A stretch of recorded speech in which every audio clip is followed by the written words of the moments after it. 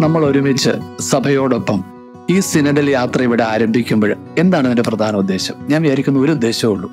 നമ്മുടെ ഓരോരുത്തരുടെയും ഈ മുന്നേറ്റത്തിലുള്ള ഓരോരുത്തരുടെയും ശബ്ദം പ്രധാനപ്പെട്ടതാണെന്ന് തിരിച്ചറിയുക. ഓരോരുത്തരിലൂടെയും പരിശുദ്ധാത്മാവ് എന്താണ് സംസാരിക്കുന്നതെന്ന് കേൾക്കാനായിട്ട് ശ്രമിക്കുക. അങ്ങനെ ഒരു കൂട്ടായ വിവേചനത്തിലൂടെ നമ്മളെ എങ്ങോട്ടേക്കാണ് പരിശുദ്ധാത്മാവ് നയിക്കുന്നതെന്ന് മനസ്സിലാക്കാനായിട്ട് ശ്രമിക്കുക. പ്രത്യേകിച്ച് മുന്നേറ്റത്തിന്റെ അടുത്തൊരു ഘട്ടം ആത്മാവ് നമ്മളെ നയിക്കുന്നത് ഒരു മുന്നേറ്റത്തിന് മുഴുവൻ ഡിസേൺമെന്റോടുകൂടി തിരിച്ചറിയാനായിട്ടും അതിലേക്ക് ഏറ്റവും സന്തോഷത്തോടുകൂടി പ്രവേശിക്കാനായിട്ട് മുന്നേറ്റത്തെ ഒരുക്കുക. സഹോദരരെ നമ്മുടെ ഓരോരുത്തരുടെയും ശബ്ദം പ്രധാനപ്പെട്ടതാണ് ഈ സമയത്ത്. പരിശുദ്ധാത്മാവ് നമ്മൾ ഓരോരുത്തരിലൂടെ സംസാരിക്കട്ടെ.